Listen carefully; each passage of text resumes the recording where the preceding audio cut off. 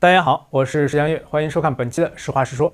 俄罗斯总统普京和朝方啊已经结束会谈，在当今的局势下呢，这场对话的重要性不言而喻。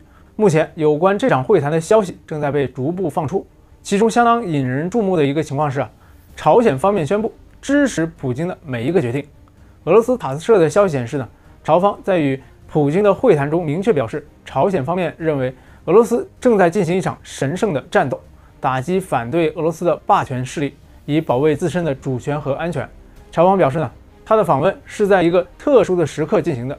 同时，朝方明确表示，始终支持普京总统或者是俄罗斯政府做出的每一个决定。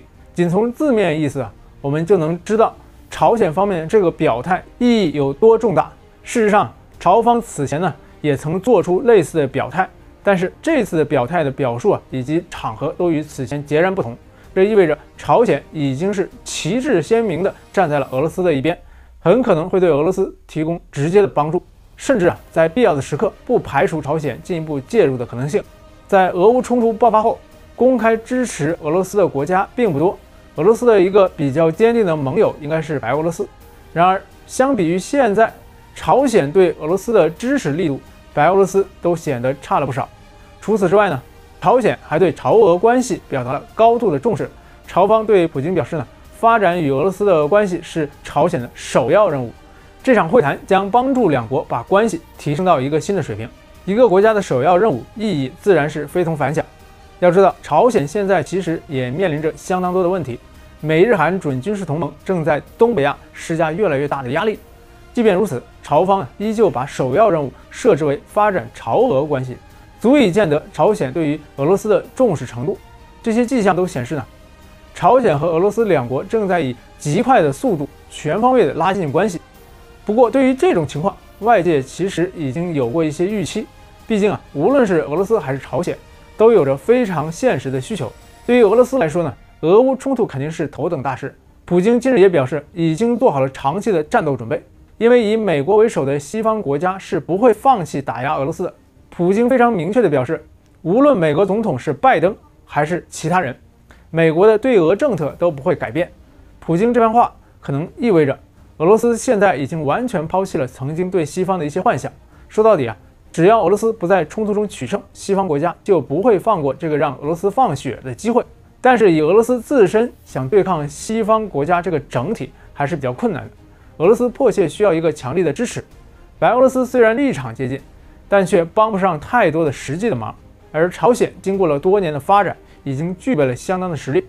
此前就有朝鲜向俄罗斯出售武器弹药的传闻，在俄国防部长绍伊古访问朝鲜期间呢，朝方就展示出了多种现代化武器装备，引发了外界尤其是西方的震动。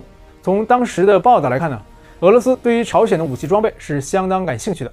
同时啊，美日韩准军事同盟在东北亚的动作越来越多。俄罗斯远东地区的安全已经受到了严重威胁，而朝鲜呢，刚好就在对抗美日韩的第一线。俄罗斯和朝鲜搞好关系，有利于缓解远东方向的压力。另一方面呢，朝鲜本来就是被以美国为首的西方国家制裁，帮俄罗斯也被制裁，不帮俄罗斯也被制裁，在这方面完全没有心理压力。而且美日韩的压力已经给到了朝鲜身上，朝方呢，自然也在寻求一个可靠的军事盟友。还有一个很可能的原因，朝鲜经过了多年的发展，尤其是疫情期间，很大程度上中断了与外界的联系，现在可以说是重出江湖。朝鲜或许也想检验一下自己多年以来的发展成果，尤其是在军事领域。事实上，在这次普京和朝方会谈中啊，还有许多值得关注的点，比如双方的会谈只持续了一个多小时。要知道，一个多小时对于这种级别的会谈来说啊，真的不算长。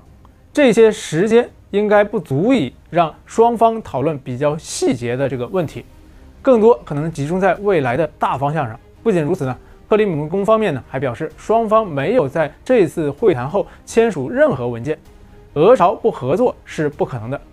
两国的一些合作应该会以不公开的方式进行。无论如何呢，普京和朝方的这次会谈势必对当前的国际局势乃至未来的走向产生重要影响。对于这件事情，我们也要保持高度的关注。好了，今天的节目就到这里，感谢您观看，也欢迎您长按点赞和转发视频。我们下期再见。